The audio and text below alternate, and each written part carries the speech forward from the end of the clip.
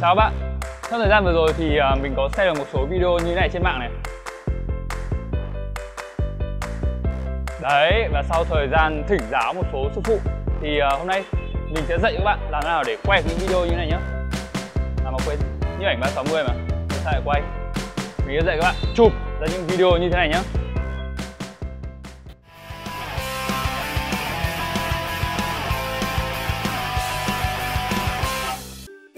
Để chuẩn bị cho việc chụp timelapse này thì tất nhiên các bạn phải có máy ảnh và ống kính. Tiếp đến chúng ta sẽ cần chân máy để cố định khung hình. Còn một phụ kiện nữa mà các bác chụp timelapse ngày xưa chắc chắn phải cần, đó chính là một cái dây bấm như này này. Cái dây bấm này sẽ giúp các bạn hẹn giờ chụp. Còn nếu các bạn không có những chiếc dây bấm như thế thì các bạn sẽ cần những chiếc máy ảnh đời mới một chút. Ví dụ như ở đây để có chức năng timelapse trong máy luôn.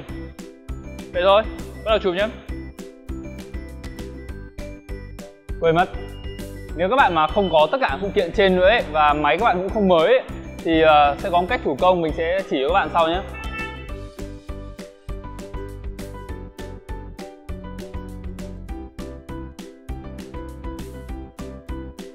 Rồi, tại sao chúng ta phải uh, chụp time lapse? Bởi với kỹ thuật này chúng ta sẽ có thể tua nhanh được chuyển động với cả là chất lượng của ảnh. Lúc nào cũng cao hơn chất lượng của video nếu cùng từ một máy ảnh. Vậy nên là video timelapse được ghép từ rất nhiều các tấm ảnh chụp cách nhau chỉ vài giây thôi từ một chiếc máy, chụp cùng một khung hình thì chất lượng của video timelapse sẽ cao hơn chất lượng của video bình thường đấy. Vì đây là một thể loại chụp mà các bạn sẽ cần rất chú ý đến việc nghiêng hay thẳng của chủ thể. Vậy nên là hãy ờ, bật level của máy lên và cân nhé. Sau khi dựng chân máy xong thì các bạn hãy nhớ chọn một khung hình cho ngon tí nhá. Tại sao? Bởi chủ thể các bạn thì đây rồi nhưng mà hãy nhớ để môi trường xung quanh. Môi trường xung quanh càng nhiều chuyển động thì video timelapse của bạn sẽ um, trông càng ảo đấy.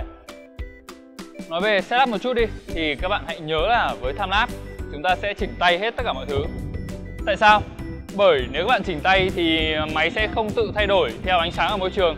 Như vậy các bạn sẽ có thể thấy được sự thay đổi giữa các khung hình ấy. Các bạn hãy nhớ là để white balance đừng để auto nhá. Hãy để uh, theo độ ca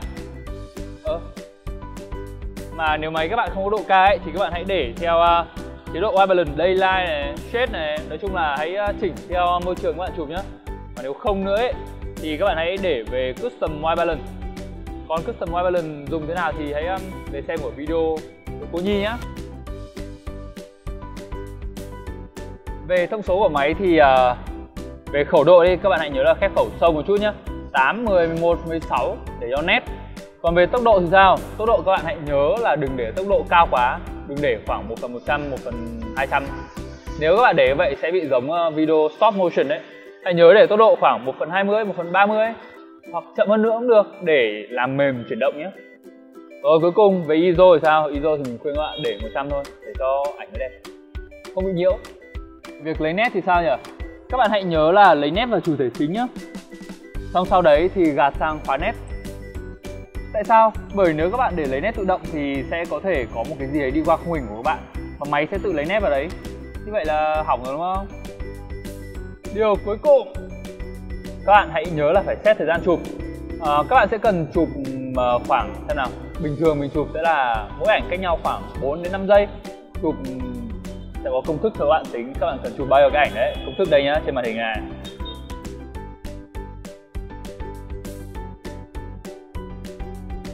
Đấy, còn ở trong máy này Hôm nay mình sẽ chụp chủ thể ở ngoài đường. Có lẽ mình sẽ chụp cách khoảng 2 giây một tấm ảnh thôi. Thử nhá. Rồi, vậy là 20 phút trôi qua rồi. Có lẽ chúng ta đã đủ ảnh để làm tham lapse rồi đấy. Cùng xem nhé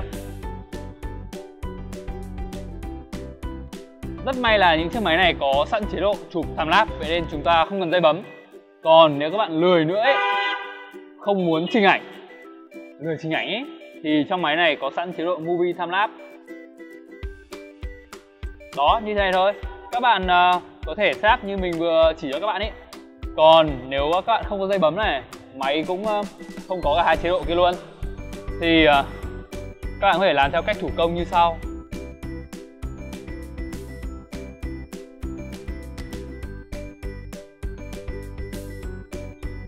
Xin chào Vậy là sau cơn mưa sáng nay bây giờ chúng ta sẽ bắt đầu import ảnh và làm thành video timelapse nhé đấy hết rồi Rồi, bây giờ chúng ta sẽ bắt đầu import vài trăm cái ảnh chụp được sáng nay để làm thành video time lapse. Phần mềm mình sẽ sử dụng để làm video này thì là Adobe Premiere.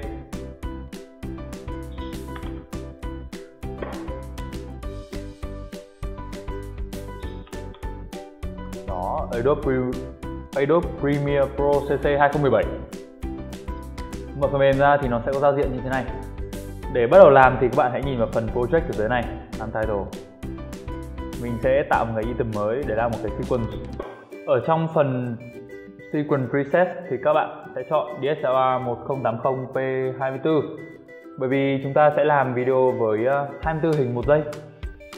Đó tạo một sequence ra đây.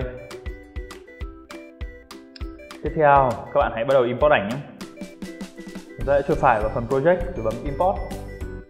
Chọn cái ảnh đầu tiên. Các bạn hãy nhớ click vào phần image sequence này nhé. Và bấm open. Rồi vậy là chúng ta đã có một sequence. Ở đây chính là video time lapse. Các bạn có thể kéo ra phần này. Ấn keep existing setting. Đó. Các bạn kéo ra thì nó sẽ hơi bị uh, zoom vào một tí. Bởi vì ảnh chúng ta chụp ra chất lượng lớn hơn video size cũng lớn hơn nữa vậy nên, bạn sẽ cần zoom ra một chút. Đó. Zoom ra đến tầm này là vừa. Đó vậy là chúng ta đã có video tham lapse của mình. Đấy. Rồi, sau khi đã có video ở đây thì chúng ta sẽ xuất video này ra. Bạn chọn file, export, media. Mình sẽ chọn format là H264 mày lắc quá các bạn nhớ click vào phần use maximum render quality